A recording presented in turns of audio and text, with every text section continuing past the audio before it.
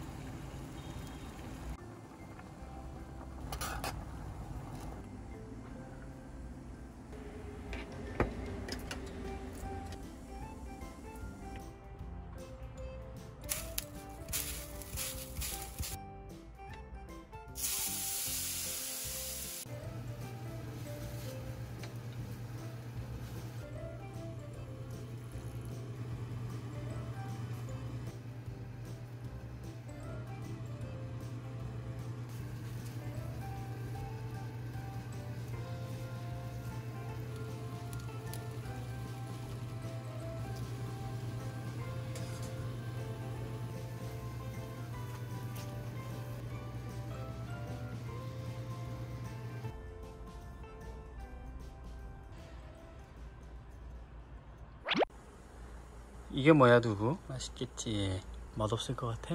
한번 먹어볼까?